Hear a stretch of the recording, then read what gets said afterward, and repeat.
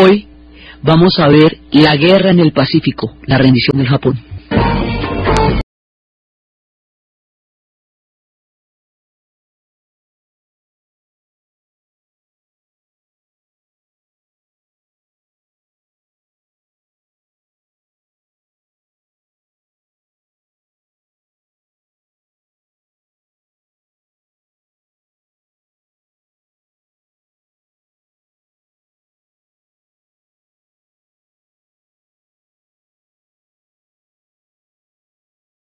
Habíamos visto la caída, la derrota del tercer Reich.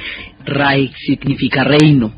El tercer reino de los alemanes, el primero había sido cuando existieron los hermanos, el segundo con la unificación del país y el tercero era el que Hitler había mandado.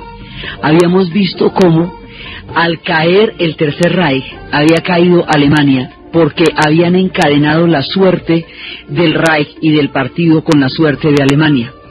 Los países que pudieron hacer algún tipo de juego político lograron salvar la sociedad, aunque quedara en muy malas condiciones, pero Alemania se hundió. Entonces, con el fin de Alemania, ya el 8 de mayo de 1945 termina la guerra con todo lo que significa la guerra en Europa. Entonces termina la guerra en Rusia, la guerra en el Atlántico, la guerra en África, la guerra en Italia, la guerra en los Balcanes, termina la, guerra en el Mediterráneo, ya todos los escenarios de lo que fue Europa en guerra se han silenciado. El Tercer Reich ha sido destruido y con él ha sido destruida Alemania. Pero Japón continúa. Exhaustos como están, después de tanto tiempo de, una, de un combate y de una guerra tan feroz y tan aterradora como esta, Japón continúa. Y para poder entender por qué continúa Japón y en qué condiciones continúa Japón, nos toca devolvernos un poquito para poder entender cómo es la cosa. Nos toca devolvernos hasta el año de 1942 y 43. Japón tiene un proyecto completamente paralelo al de Alemania. Japón también desarrolla una teoría de raza superior, se consideran el proyecto de civilización en el Asia, son los pueblos del sol naciente y han emprendido un proyecto de expansión. Primero habían deportado grandes cantidades de sus comunidades por el mundo y ahora van a expandirse. Habíamos visto nosotros cómo ellos se expandieron primero que todo por China. Se tomaron la Manchuria, la rebautizaron Manchukuo, y nombraron a Puchi, el último emperador, como un aval de la dominación japonesa en Manchuria. Se metieron por toda la parte continental, bajaron por China hasta la Indochina, invadieron Vietnam, invadieron toda la, la, península de Indochina, llegaron hasta Birmania, en Birmania ya están en los bigotes de los ingleses de la India, llegaron a Borneo, llegaron a Sumatra y se tomaron todas las islas, llegaron a Malasia, y se tomaron las islas del Pacífico y habían emprendido una campaña, una guerra relámpago, pero esta guerra relámpago no era en las ciudades, ni en las carreteras, ni en las estepas, era en la selva. Era una guerra aterradora donde atravesaron la selva cargando los cañones para montar las armas allá. Entonces tienen una parte continental, que es la que la, la, invasión que se va a hacer en la, en, la, primera parte de la guerra relámpago de los japoneses y otra parte de las islas, que son las islas que se han ido tomando, islas que pertenecían en, en, la Primera Guerra Mundial pertenecían a Alemania, luego Japón las tomó y por el otro lado los Estados Unidos se había venido expandiendo por esas islas desde las épocas de Teddy Roosevelt, no de Franklin Delano, sino de Teddy Roosevelt. Entonces, hayamos visto cómo en un momento dado los japoneses previendo que en algún punto se iban a enfrentar contra los norteamericanos decidieron madrugarles, hacer la cosa más tempranito y atacar primero, no y los atacaran cuando no se pudieran defender y ese había sido el origen militar del ataque a Pearl Harbor en la isla de Hawái. Entonces, eso había entrado, la, había hecho que los Estados Unidos entraran en la guerra. Y la primera parte es muy parecida, digamos, a la de Alemania en el sentido en que avanza y avanza y avanza y avanza y avanza Japón y no lo contiene nadie. Y entra por Singapur y entra por todas partes. Y la, la primera parte del avance japonés es absolutamente imparable como fue la primera parte del avance de los alemanes, en ese sentido son muy paralelas. Hasta cuando se va a presentar la batalla de Midway. La batalla de Midway, que es una batalla marítima por la isla de Midway, es como el Trafalgar de, la, de los norteamericanos porque es la primera batalla donde realmente van a parar a los japoneses, que también hubo que pararlos. Entonces, van a parar a los japoneses en Midway como pararon a los rusos en a los alemanes en Stalingrado los rusos y lo mismo que los rusos los hicieron retroceder de Kursk para adelante, pues estos también los van a hacer retroceder. Entonces, la batalla de Midway es el punto, digamos, donde, donde empieza la, a, a dar el reverso de la moneda del imparable avance japonés que hasta el momento había sido una cosa completamente, digamos, nadie lo podía parar. En ese momento se toman las decisiones, o sea, ya, ya con la batalla de Midway, y es que no se puede, las fuerzas continentales no pueden atacar a Japón, porque no son lo suficientemente grandes. La idea era que China atacara a Japón como aliado de, los norteamericanos y de los ingleses. China está en una guerra civil, en una guerra civil entre el Kuomintang, que son las fuerzas de Chiang Kai-shek, y entre el Partido Comunista, que es el que está liderando Mao Zedong la situación de guerra civil hace que China no tenga suficiente contundencia para poder atacar a Japón como los aliados por un lado. Por el otro lado, las tropas británicas en Birmania no son suficientes para hacer una escalada en tierra, van a lanzar a los Sundits, que son camboyanos, eh, se llamaban así por los leones que custodiaban los templos, pero de todas maneras no hay suficientes eh, eh, capacidad para detener a los japoneses por el lado continental. Como no hay suficiente capacidad, entonces va a tocar atacarlos es por el lado del mar. Entonces había una prioridad, de todas maneras, eh, según Churchill, había que darle, por un lado, a los alemanes, primero Alemania, era la prioridad, y después Japón, desde el punto de vista británico. Desde el punto de vista soviético era solo Alemania. No he dicho Japón, Japón chévere, pues digamos sí, ahorita veremos a ver qué hacemos con Japón, pero la prioridad de Rusia era única y fundamentalmente Alemania. Entonces, la tesis que va a ganar la estrategia de la guerra es la que dice primero Alemania y después Japón. Como los ejércitos de tierra no tienen la capacidad de detener el avance japonés, entonces quedamos en que los Estados Unidos son los que van solos a enfrentar a los japoneses. Entonces, el frente del Pacífico es fundamentalmente una guerra entre los Estados Unidos y Japón y es el punto, digamos, más, eh, más grueso de la participación norteamericana en la guerra, porque ahí la libran ellos prácticamente solos. Están, los ingleses los apoyan, y hay tropas inglesas en Birmania, y hay tropas con ellos en el mar, pero quedamos en que ese pedacito le correspondía a ellos en lo fundamental. Entonces, entran los ejércitos norteamericanos a estar en una guerra marítima, y los norteamericanos empiezan a desarrollar un arma que son los portaaviones. Los portaaviones son un barco con un planchón que hace las veces de aeropuerto, de pista, para que de ahí salgan los aviones. Entonces los barcos, en lugar de lanzar proyectiles, en lugar de lanzar bombas, lanzan es aviones y los aviones son los que van atacando. Entonces aquí la aviación también va a ser el arma a través de la cual se va a definir el curso de la guerra.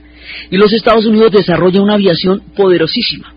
Los Estados Unidos tienen una ilimitada cantidad de recursos ha puesto a andar una maquinaria de tales proporciones que esta puesta en marcha de la maquinaria bélica norteamericana va a ser uno de los motores de su futura industrialización, porque es que ellos están dando suministros para toda Europa, dieron suministros para Normandía, dieron suministros para Inglaterra, dieron suministros para Italia, África del Norte, Rusia, la Unión Soviética recibe suministros en grandes cantidades y van a dar suministros para Japón.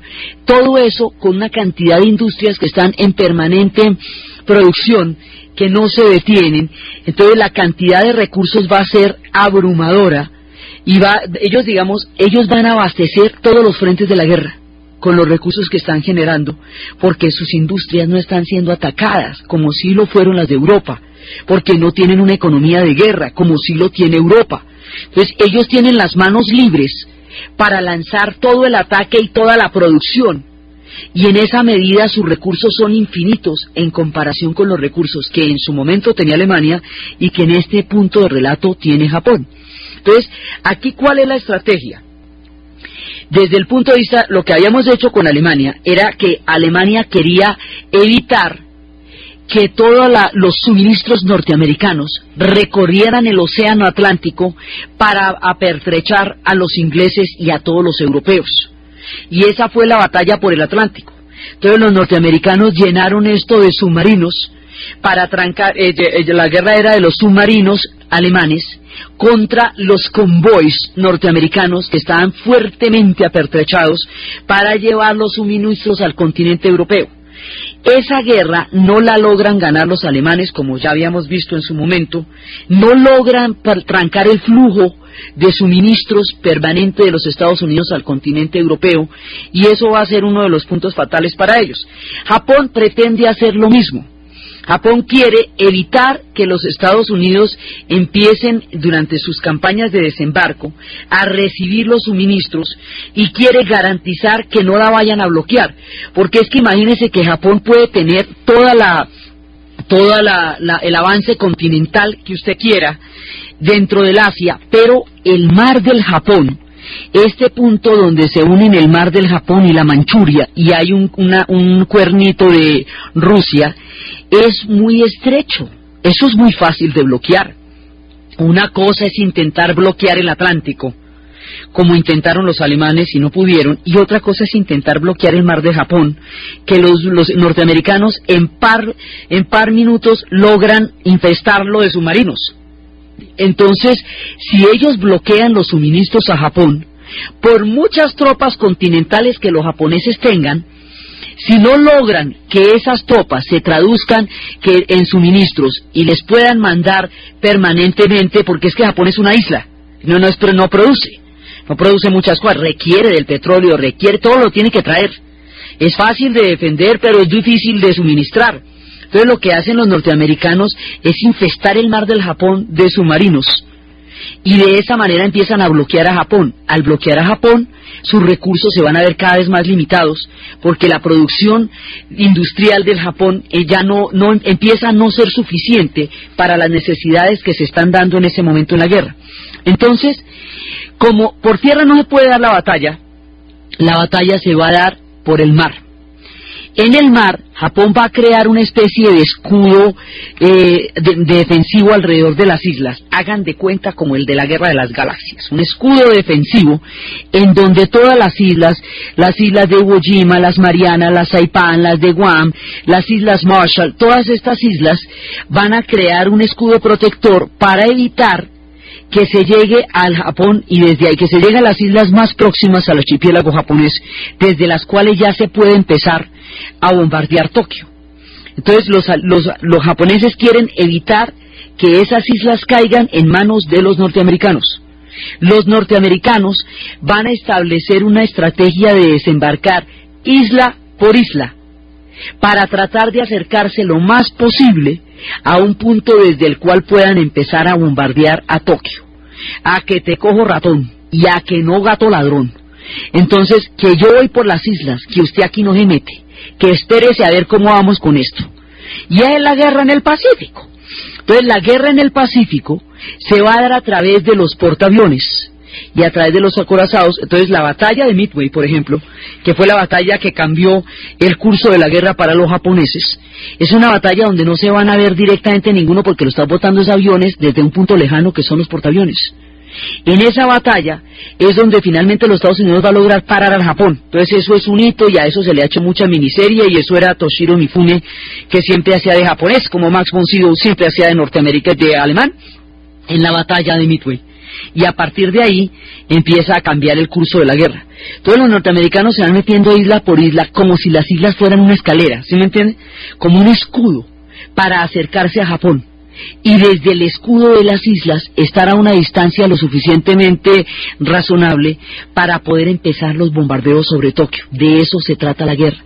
Entonces, como es una, eh, son una cantidad de desembarcos Entonces, por un lado, pues vienen todos los, los portaaviones, entonces vienen toda la, el fuego de los aviones y el otro contesta, se toman la isla, pero una vez que se toman la isla, ellos desembarcan en la playa, los norteamericanos, mientras que los japoneses se apertrechan en las montañas de las islas, son islas volcánicas montañosas, y se apertrechan allá, Haga de cuenta como si esto fuera una batalla por entre San Andrés, Providencia, Cuba, Santa Catarina, República Dominicana, haga de cuenta como si fueran, si fueran el Caribe, póngase en el Caribe y ni píllese a San Andrés y a Providencia y a Trinidad y a Tobago y haga de cuenta que se fueran a acercar al continente. Es lo mismo. Pero entonces es en una región mucho, mucho más grande, más vasta, más inalcanzable, porque no es un pequeño mar, sino es el gran océano Pacífico. Entonces, lo que hacen los japoneses es apertrecharse en las montañas, como decir en las montañas de Providencia, mientras que los norteamericanos están desembarcando en la costa. Y desde las montañas los japoneses empiezan a liberar una resistencia aterradora. Eh, la idea de tomarse las islas es convertir estas islas en, en especies de pistas, desde las cuales puedan salir los aviones y se puedan acercar cada vez más a Tokio, que es el objetivo. Entonces, como es el mismo tipo de desembarco, el mismo tipo de guerra y el mismo tipo de aviones, y es el mismo tipo de, de combate repetido una y otra vez, una y otra vez, pues todo se ve igual. Por eso si usted vio una película contra los japoneses en la Segunda Guerra Mundial en el Pacífico, las vio todas. Porque esto todo es igualito, una tras otra, es que es, es la reiteración de una forma de guerra hasta que lleguemos a Tokio o hasta que no lleguemos a Tokio. O sea, desde el punto de vista norteamericano hasta que lleguemos a Tokio. Y desde el punto de vista japonés hasta, hasta que los podamos sacar y que no lleguen a Tokio. Y esa, esa es la batalla, pero van a ser unas batallas absolutamente aterradoras, porque los japoneses son perfectamente conscientes de que cada isla que se pierda es un paso más que acerca a Tokio. Y ellos son conscientes de la importancia que tiene cada defensa y cada resistencia frente a impedir que lleguen a Tokio. Los japoneses no pueden impedirlo, pero sí les hacen la vida sumamente difícil y que esto se va prolongando y se van volviendo unas batallas de desgaste isla por isla absolutamente aterradoras. Mientras tanto, mientras se van metiendo en esas campañas de desgaste, aquí hay una cantidad de choques culturales. Primero, estábamos viendo a los japoneses que son los que primero van a invadir estas islas. Ahora vemos a los norteamericanos que son los que están llegando del otro lado del mar a, a empezar estos ataques y traen su música.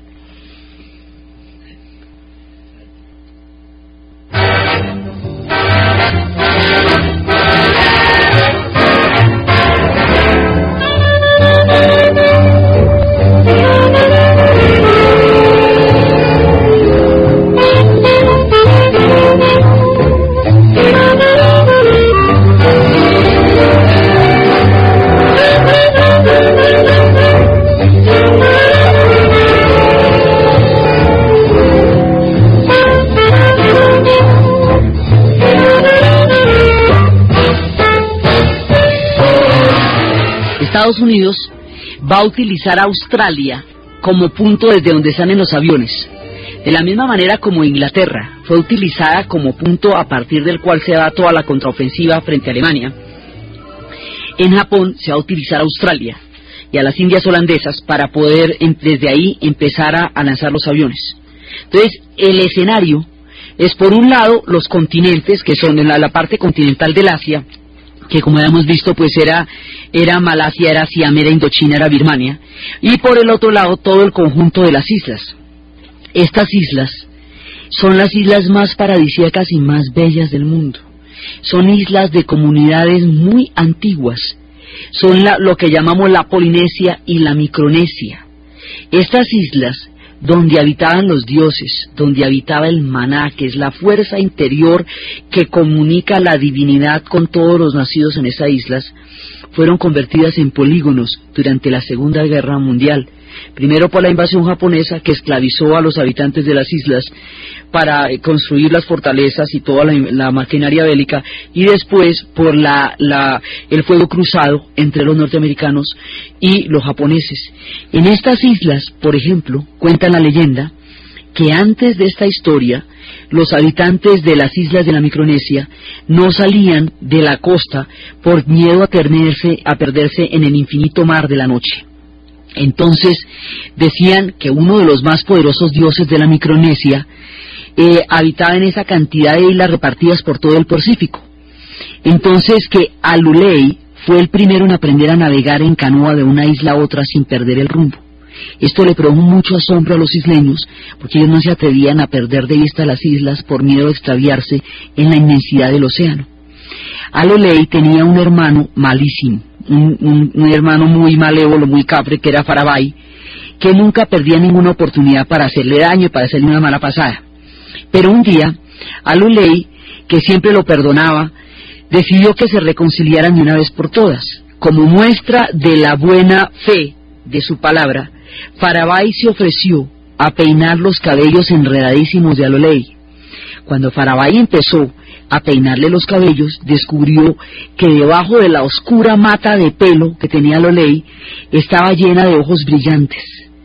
Alolei le explicó que esos ojos brillantes eran las estrellas y que ese era el secreto de su habilidad marinera y que por eso era que no se perdía en la inmensidad del océano. Alolei le enseñó a Farabai cómo encontrar el rumbo en las islas estudiando la posición de las estrellas. Farabai transmitió esa información a todos los demás isleños y desde entonces los navegantes de las islas han podido recorrer el Pacífico mirándose en los ojos que brillan en el, inmenso y negro pelo de Alolei. Son las tierras de la Cruz del Sur donde se hablaba de cuatro estrellas de la constelación de la Cruz del Sol, se dice que son las hijas de Malulú, que era un dirigente de los aborígenes de la era del sueño que Malulú no tenía hijos y cuando se acercó la hora de su muerte se lamentó porque pensaba que sus hijas iban a quedar completamente desprotegidas al no tener hermanos que las protegieran. Entonces que él se encargaría de que recibieran mm, la parte de la, de la cacería de la tribu, quién se podía meter con ellas, estaban totalmente desamparadas después de la muerte de su padre. Todo Malulú reflexionó sobre este problema y consultó al hechicero y el hechicero le dijo que, la, que las hijas que al morir se proponía convertirse en una estrella y que ellas por su propio bien debían unirse con él a los cielos. Entonces, cuando llegó el momento, Mululu murió y las cuatro hijas siguieron sus instrucciones y acudieron al hechicero. El hechicero trenzó una larguísima cuerda con pelos de su barba, en cuyo extremo llegaba hasta el cielo. El hechicero le dio para que treparan las cuerdas, y al llegar arriba se encontraron que su padre las estaba guardando.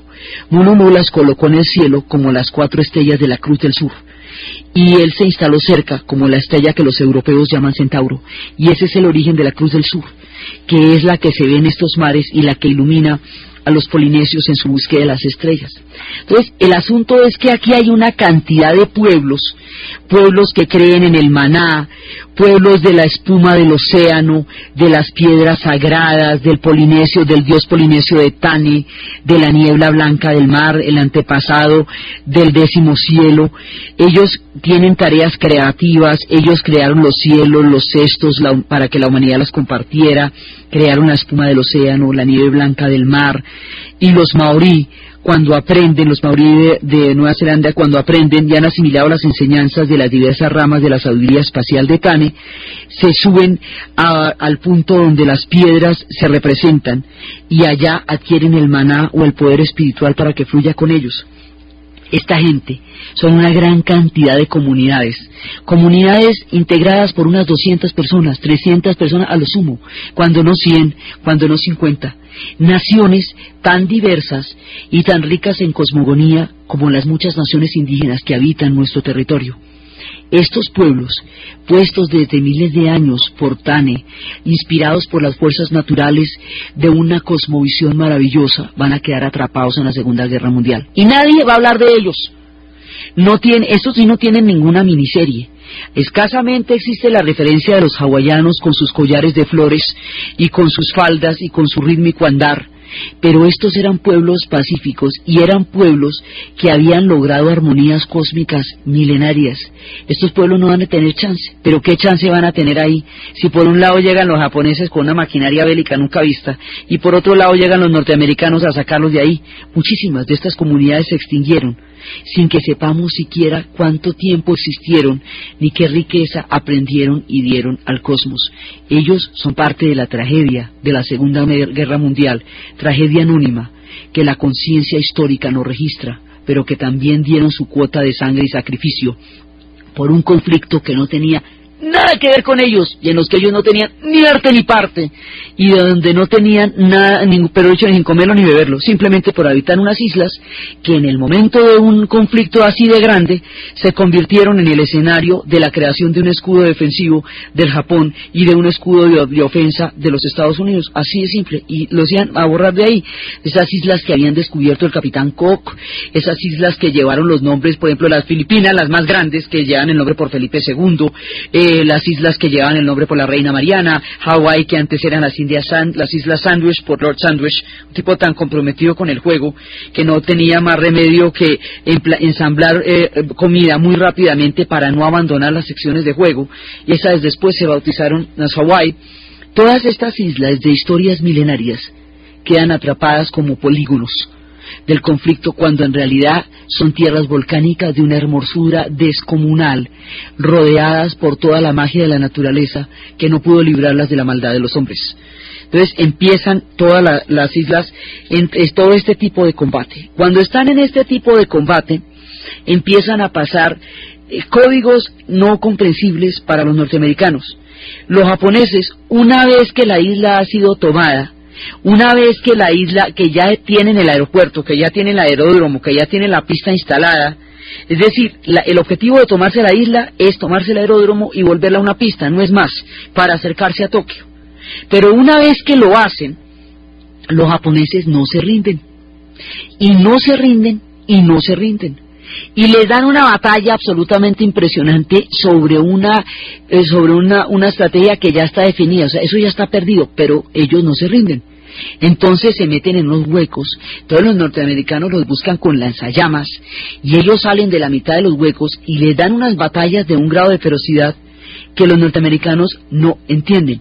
Los norteamericanos son pragmáticos y tienen una, es una cultura deportiva en la cual uno gana o pierde. Entonces, si usted ganó, pues ríndase, porque ya ganó, ¿no ve? O sea, que ¿para qué va a seguir peleando si usted no puede ganar?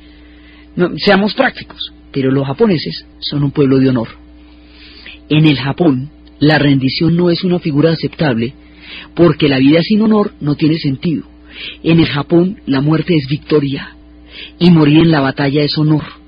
Ellos tienen una concepción de la muerte que los hace invencibles porque les da la fortaleza para mostrar en la batalla su capacidad de honor al morir. Ese esquema es incomprensible para una cultura pragmática como la norteamericana, en donde lo importante son los resultados. Entonces ya ganamos, listo, ganamos. No, no, no, es que ganar no es el problema. El problema es defender el honor. Y el problema es defender Tokio. Y si he perdido la batalla defendiendo Tokio, he de perder la vida, cimentando el último minuto. Las órdenes eran pelear hasta el último hombre. Por eso las dos batallas más aterradoras, que es cuando ya estamos muy cerquita, son las batallas de Iwo Jima y las batallas de Okinawa. Esas batallas de Iwo Jima y las batallas de Okinawa se forman como una especie de tenaza, de pinza de cangrejo alrededor de Tokio. Si caen esas dos islas, ya la cosa está a tiro de as. Entonces los japoneses saben que eso no puede caer. Tienen órdenes de luchar hasta el último hombre. Y después de dos semanas de la batalla más aterradora que ustedes se imaginen en Okinawa, sale un telegrafista que ni quién era, pues el último hombre. Eso, digamos, la manera como ellos luchan, tanto que hasta 1970 todavía se estaban rindiendo japoneses que no se habían enterado que la guerra se había acabado. Que como no llegaron más tropas del emperador dijeron, bueno, ahora sí ya tocó rendirse. Entonces, la rendición no estaba en sus esquemas, no era parte de su concepción del mundo.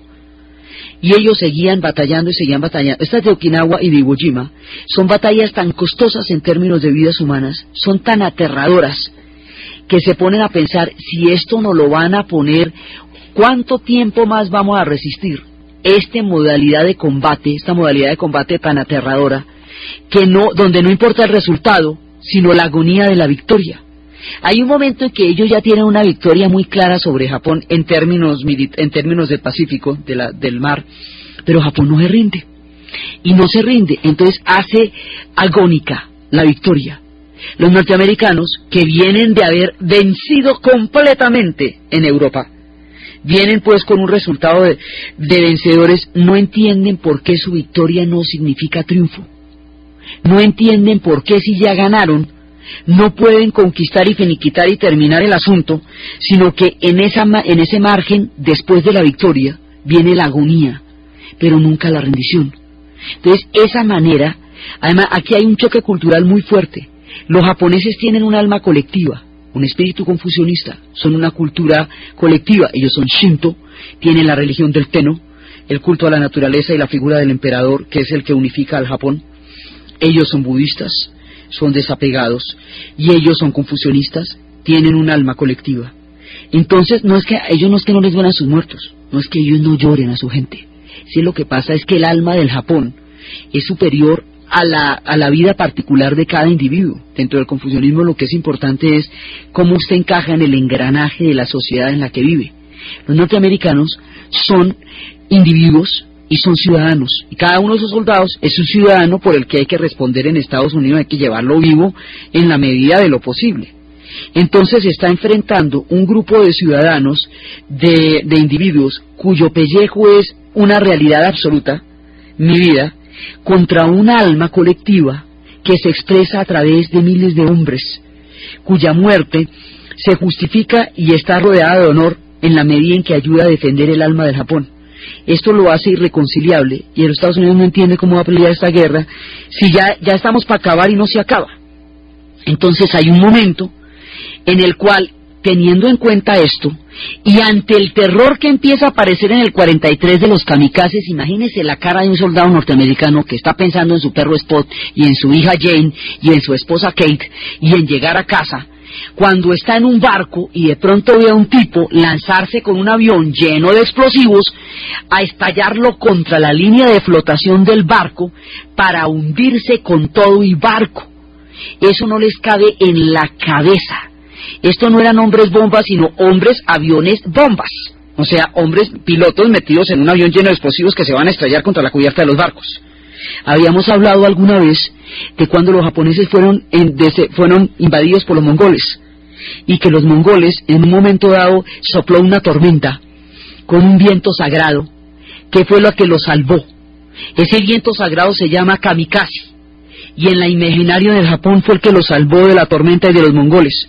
Kamikaze se van a llamar los pilotos, que se van a lanzar llenos de explosivos sobre la línea de flotación de los barcos norteamericanos, y serán miles, y estarán honrados. Y alguna vez en una entrevista preguntaban al, que los escogía que si no le daba tristeza mandar a estos muchachos a la muerte, y él decía que lo curioso era que lo triste eran los que no eran escogidos, quedaban profundamente decepcionados de no tener la oportunidad de morir por el emperador. Entonces, aquí se están enfrentando dos pueblos que no son ni prójimos y tienen una concepción de la guerra completamente distinta. Entonces, los norteamericanos, cuando ven a los kamikazes, cuando ven la manera como los japoneses son capaces de pelear en una isla tomada, invadida y perdida, pero es que quedan cuatro gatos, pero es que usted no puede terminar el combate hasta que no han muerto los cuatro gatos, pues los cuatro gatos no se van a rendir. Entonces los norteamericanos empiezan a preocuparse porque como este pedazo de la guerra les corresponde solamente a ellos, y son ellos los que tienen que responder ante su país por el costo político y en vidas de una guerra donde en principio no se quería meter los Estados Unidos. Recuerde que eso no era idea de ellos, sino que el ataque a Pearl Harbor precipita ante la opinión pública norteamericana la intervención en la guerra. Entonces, el costo político que pueden tener los norteamericanos de prolongarse este tipo de combate indefinidamente no lo pueden afrontar. No tienen la mentalidad de los rusos, que están dispuestos a morir todos vengando Bielorrusia, cueste lo que cueste, pase lo que pase, digan lo que digan. O sea, no es la mentalidad de sacrificio que pueden tener los rusos, de honor que pueden tener los alemanes. Es una mentalidad pragmática de los resultados de la guerra, el costo político que está dispuesto a enfrentar y el número de vidas que, puede o no puede eh, poner en el conflicto Estados Unidos. Pues hay un momento en que esto se les va complicando y se les va complicando porque la victoria no les da ningún tipo de garantía. Los mete cada vez más en una sin salida. Se vuelve cada vez más agónica y amarga. Después de que han caído Iwo Jima y Okinawa, dos de las batallas más aterradoras de toda la guerra, De eso hasta hay un cipo con el mapa de Okinawa. Y es un hito para los norteamericanos, un hito además muy amargo porque ahí era, esto era una cosa terrible, 250 mil hombres mueren en esa isla que es una isla relativamente pequeña, pero ya una vez que caen Okinawa y Iwo Jima ya empiezan los bombardeos sobre Tokio.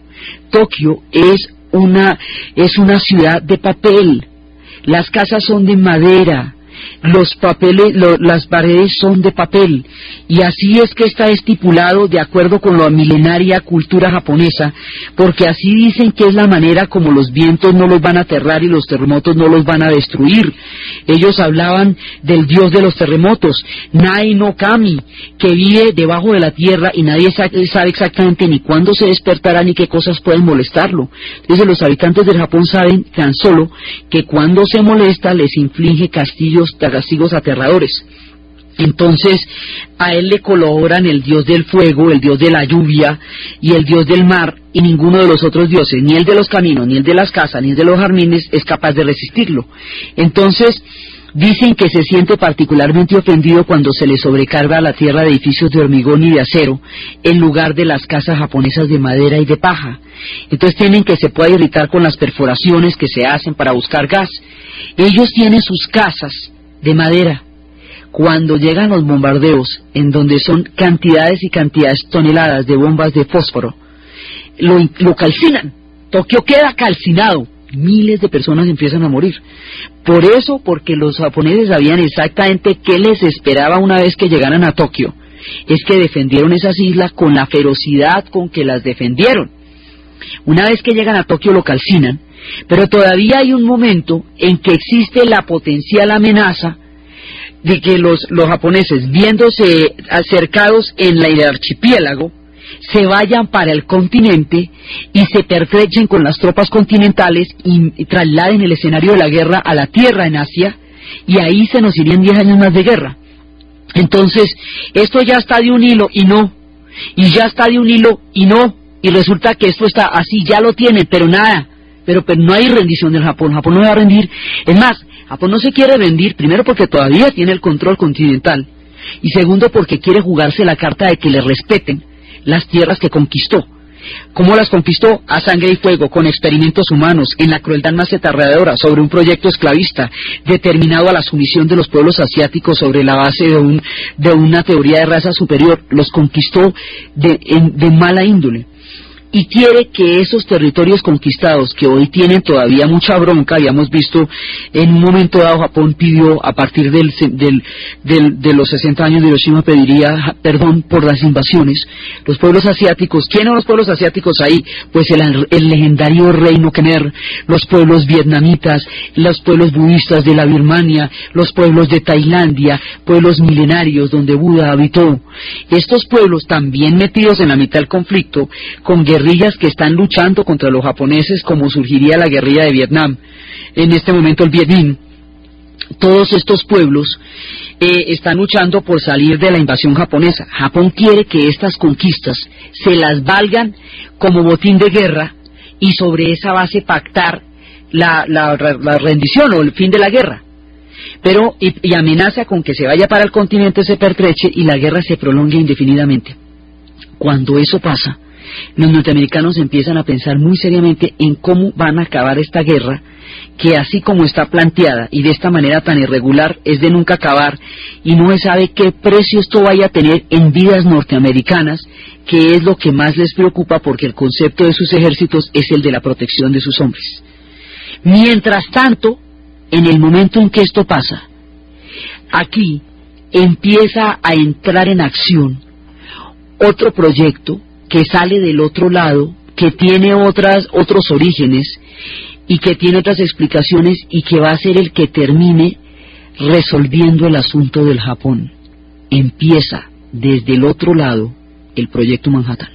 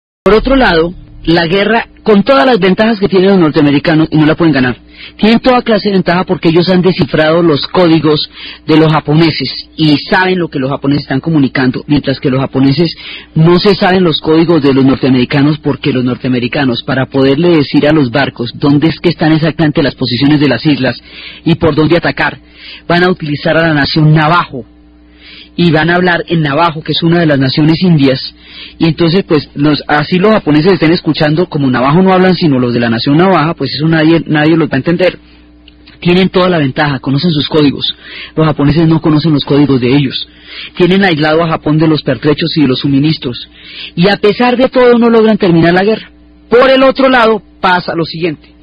El proyecto Manhattan es una situación por medio de la cual, que tiene su origen en una carta que Albert Einstein le manda al presidente Roosevelt, en donde le dice que teóricamente hablando, de acuerdo con todos los experimentos de la física cuántica y del átomo que se han venido desarrollando en la escuela de Copenhague y de la, de la cual en Alemania hay un importante aporte científico, dice que los alemanes potencialmente, teóricamente, podrían estar en la capacidad de desarrollar un arma que tiene que ver con el átomo, con una capacidad de destrucción nunca antes vista. Y que si eso llegara a pasar, sería un peligro que la humanidad no podría dar el lujo de, enfrentar, porque ellos no pueden permitir que eso pase. Roosevelt le para horas a Einstein y da la autorización para empezar el proyecto Manhattan. Y el proyecto Manhattan está compuesto por una gran cantidad de científicos de origen alemán, de origen judío, de origen italiano, dirigidos por Oppenheimer, y donde está Enrico Fermi, que es un italiano, y empiezan a investigar el átomo. Ese proyecto es cómo van a tomar las investigaciones que en ese momento existen en el mundo sobre la fuerza del átomo y su capacidad para convertirlo en una bomba atómica que se pueda utilizar en la guerra. Ese es el proyecto Manhattan y Estados Unidos arranca con el proyecto Manhattan y ese proyecto va dándose durante una buena cantidad de tiempo, no alcanzará a estar listo para Alemania. De haber alcanzado a estar listo para Alemania, seguramente lo hubieran echado allá, pero no estaba listo todavía. La voz de que está listo el experimento, que ya ha sido, ya se ha probado y que ha resultado exitoso, es la voz que se le va a dar a Truman en la conferencia de Potsdam. Más cuando ya en Potsdam se estén repartiendo el mundo, en Potsdam le van a decir el bebé ha nacido bien, lo que significa que el experimento del Álamo de estallar la bomba atómica ha sido exitoso, que los Estados Unidos a partir de ese momento cuenta con la capacidad militar de, de arrojar una bomba atómica. La Unión Soviética lo sabe porque Stalin tiene una espía dentro del mismo proyecto Manhattan que le cuenta que Estados Unidos va a desarrollar la bomba atómica. Entonces, se está dando el experimento, se está desarrollando, esto tiene dos partes. Una es cómo hacer estallar una bomba atómica, que es lo que se está investigando, que tiene que ver con toda la, toda la investigación médica, científica acerca de la física cuántica. Y por el otro lado, es cómo se va a lanzar esa bomba atómica sobre qué vehículo, de qué manera, porque es que eso no se puede llevar en un maletín, y menos en ese momento. Entonces hay que juntar dos tecnologías, la tecnología de la bomba con la tecnología de cómo la van a lanzar. Empiezan entonces las fortalezas de los B-29, que habíamos visto que se habían desarrollado muchísimo durante esta época, serán el vehículo a través del cual se va a lanzar. Y eso se va a lanzar en un avión B-29 gigantesco que, al que se le va a quitar toda artillería para que no tenga peso, se pueda elevar altísimo en el cielo y desde el cielo lo pueda lanzar. Y empiezan a acostumbrar a la ciudad de Hiroshima poco a poco para que la presencia de un avión solitario a gran altura no despierte ningún tipo de sospechas ni los haga buscar refugios antiaéreos. Entonces, hay un momento en que el proyecto Manhattan que se estaba desarrollando por otro lado. Los experimentos se habían hecho muchos en el Pacífico, pero eso es base estallar en el Álamo y cuando estalla es cuando Oppenheimer dice que se acuerda del Bhagavad con la visión de los mil soles que se, que, se, que se mencionaba ya en el momento en que estalla ya el experimento. Se juntan varios factores. La, la imposibilidad de los Estados Unidos desde sus propios esquemas de continuar la guerra en estos términos con Japón con el éxito del experimento que queda listo, hay fuerzas del cosmos que no solamente son la causa y el efecto, sino en la sincronicidad del Tao, que son los encuentros de los instantes, de las circunstancias en un mismo instante cósmico. Cuando el asunto con Japón se dilata tanto, en ese momento ya está a punto el experimento de la bomba atómica. Entonces, una cosa que no tenía que ver con otra en principio se va a terminar convirtiendo en una misma. Se toma la decisión, Truman toma la decisión de acabar la guerra con Japón a través de el lanzamiento de una bomba atómica. Los científicos empiezan a decirle que eso no se puede lanzar sobre la población, porque los efectos que eso tiene son aterradores, que haga un efecto de demostración, que le dé la oportunidad a los japoneses de considerar la rendición. Pero una vez que esto ya está listo, las voces de los científicos se desoyen, queda en manos de los militares que no están dispuestos a ejercer efectos de demostración. Una cadena de decisiones históricas va a llegar al punto de la bomba atómica y eso va a ser la puerta de un umbral que el ser humano no va a ser capaz de manejar porque no tiene espiritualmente la capacidad para comprender las fuerzas que ha desatado de la naturaleza. Condiciones históricas, condiciones geopolíticas, condiciones de, la naturaleza, de la misma dinámica de la guerra, van a llevar al ser humano a entrar en contacto con fuerzas que nunca debió conocer. Y en este punto de la historia es donde se toma la decisión fatal, la aterradora decisión de lanzar las bombas sobre Hiroshima y sobre Nagasaki. Lo que sucedería esa mañana del 8 de agosto de un día claro, la del 6 de agosto en, en Hiroshima y la del 8 de agosto en Nagasaki, lo que le pasaría al pueblo japonés, lo que el mundo descubriría en el umbral de las fuerzas de la naturaleza que el espíritu humano no puede comprender, es lo que vamos a ver en el siguiente programa. Entonces, desde la batalla de Midway, desde la aterradora experiencia de los kamikazes, desde el esfuerzo del alma japonesa que no se quiebra a pesar de la infinita derrota, desde toda la capacidad bélica de los norteamericanos en el Pacífico, desde los pueblos maoríes y los pueblos polinesios y los pueblos micronesios, atravesados por un rico cosmos, entrelazados en la mitad de este conflicto, desde los pueblos de la tierra milenarios en el Asia y desde la tragedia que se cierne sobre el hermoso cielo del Japón y sobre estas islas maravillosas que están convertidas en un escenario de una conflagración mundial de límites imprevisibles, desde este complejo escenario de portaaviones, volcanes, lanzallamas, acorazados, plegarias, barcos de papel y toda esta cantidad de, de engaranaje que se está desplegando sobre el Pacífico, en la producción José Rodríguez y en la narración de Ana Uribe y para ustedes feliz domingo.